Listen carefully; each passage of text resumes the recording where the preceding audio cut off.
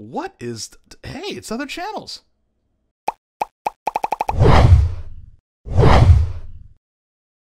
Hey everyone, Matt here. Today we're going to be moving Speedy from this area because he doesn't get enough sun here in the mornings.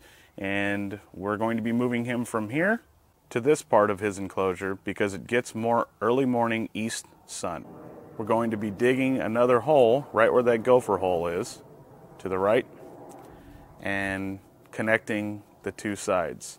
Where that gopher hole is, we're going to be uh, putting some boards down and then basically covering the boards with soil and grasses and stuff if we have them. But yeah, and then we're going to try to build something to where he can come up onto his uh, his little house that's within his enclosure. I'll show you the guys, you guys the enclosures, but this is basically going to be his house. It's going to come under here, and there's going to be a little deeper spot right here, and we're going to have boards covering that, and I'll get that all on film. So let's get to it. All right, so as you can see, we got the two levels done and we're testing to see if Speedy can crawl through and eh, he's going and he's gonna stop there see he's uh, crawling out of the hole because there's no cover on it right now so yeah we're gonna add all that now he's just hanging out a little bit so we're gonna go ahead and put the tops on this part and then we're gonna also cut the wood and we're gonna put it on top of there and Speedy's house will be completely done uh, once we fill the top of it with soil and stuff like that. So anyway, let's do that. Okay, now Rain and Ryan are to go ahead and put the uh, tops on it so um, we can get this ready for Speedy. So that's wrong, Ryan. You got to turn it over.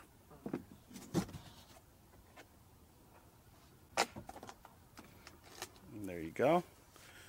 Now Rain, put her piece in.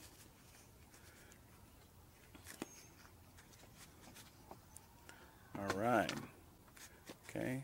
And now we're going to fill in the holes on this side here. And that's going to be the second level. You want to make sure that you do the gradient uh, soil. That way your tortoise doesn't flip over. So we're going to go ahead and try to get that on film as well and start burying this thing. Okay, now we're going to go ahead and start putting the boards on. You need to um, just, you know, lay them on like that and make sure they're centered and have about two to three inches on either side so that way the dirt doesn't cave in. Um, your tortoise, don't worry if it starts raining and stuff, they're going to crawl out of the hole. So that's it. So we're going to bury it now.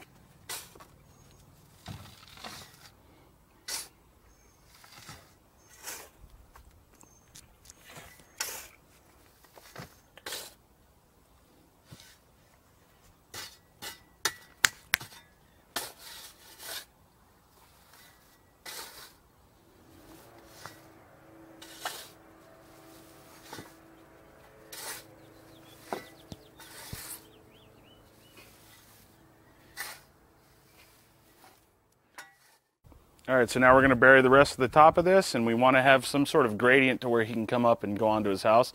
This is at a tilt because we had to use these blocks to cover those holes so that no sunshine would get in there, and the gradient is going to bring rainwater this way. So it'll be a double double thing that we're doing there. So we're going to go ahead and bury the rest and show you the end result. All right, so the tortoise enclosure is done. It's buried in. I just watered it, and um, going to plant some wheatgrass probably on the top and maybe some dandelion seeds all over it and let it grow in. So if the tortoise needs to get out, it will, uh, you know, if there's water that builds up into the bottom of that, I'm sure it's not going to gush in there, but uh, it can easily get out and I made some nice gradient underneath. So it'll be able to get out still. Um, but yeah, looks good. So he's already in there chilling. So I wonder if I can get him on camera. Is he down there? Kids are probably looking at my butt crack. so anyway, like always, God bless you guys, and uh, yeah, if you get a tortoise, you know, do a nice little enclosure for him. Like I mean, this is a big enclosure for this tortoise. So, and uh, yeah. So anyway, God bless you guys, and like always, peace. Thank you guys so much for watching our video. If you liked it, please give it a thumbs up. Also hit that subscribe button to get all our video updates. Oh yeah, we do have other channels now, so please check them out. Like always, God bless.